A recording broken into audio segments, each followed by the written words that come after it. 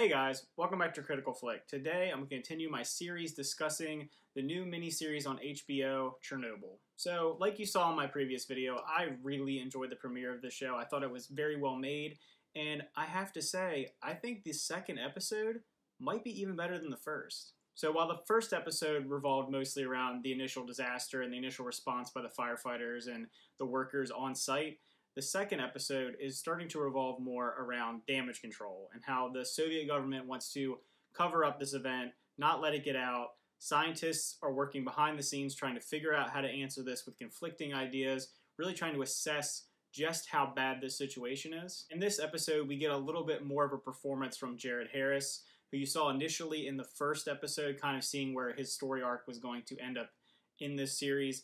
And I have to say, I think he did an excellent job. He's always been a pretty good actor, and I think in this one, this is going to be a really good role for him. I could see that this show could potentially be getting nominations from, you know, Emmys, Golden Globes. It's just so well shot, so well written. The atmosphere they create is such a gut punch, and it it, it's the execution is just excellent on this show. And as far as the atmosphere on the show, like I talked about in the first episode, I didn't really get to touch on the score. I think the score is one of the best assets that the show has going for it, as well as the cinematography. They have this humming, swelling, orchestral, just eerie sound that hovers over a lot of the very intimidating parts of the show when you're seeing that this power plant is releasing all this radiation. People don't know what's going on. You get these eerie, abandoned looks at Chernobyl that most people see as very iconic. In this episode, you do actually see the evacuation when they start to realize that things are really bad, really, really, really terrible. And I think that scene, I think those scenes in particular with the sirens and then having the announcements being played over, the very ominous hum, and all the people having to be uprooted, the soldiers. And there were some really like just impactful moments in this episode, like I said. One in particular for me was a part with a dog. You may not have caught it, but that part, just seeing people being uprooted, just seeing how bad things got and how quickly things escalated, and they didn't realize what they were doing, and just the just the mismanagement of everything was just incredible. Like it, it, you couldn't believe that something like this could happen, and they even reference in the episode nothing like this has ever happened before. This is one of the worst events in the history of mankind. And in this episode, they dive into almost how it could have been so much worse than it was, even as horrible as it was.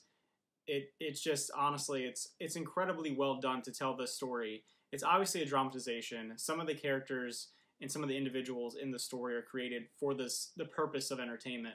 But at its core, it's getting at the real things that were happening, the real issues that led to this getting so out of hand.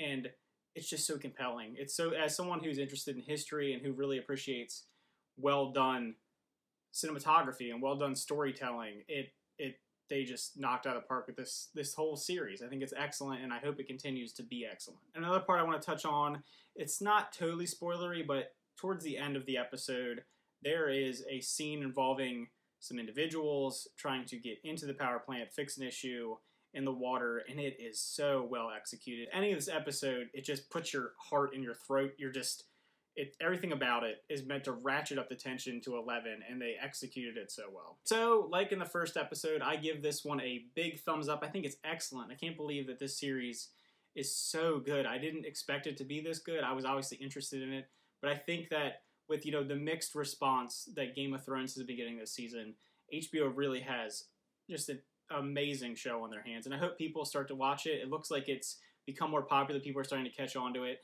And I think once Game of Thrones ends, you'll see more people jumping on the bandwagon and watching the show. But definitely recommend it. If you haven't watched it, check it out. If you have the ability to see it on HBO, definitely recommend watching it. All right, guys, thanks for watching, and I appreciate the support I got for the first episode reviewing it. I didn't really know how reviewing a TV show would go, but you guys have really had some great comments and some you know, great viewership on it, and I just really appreciate it. And I'll see you guys next time.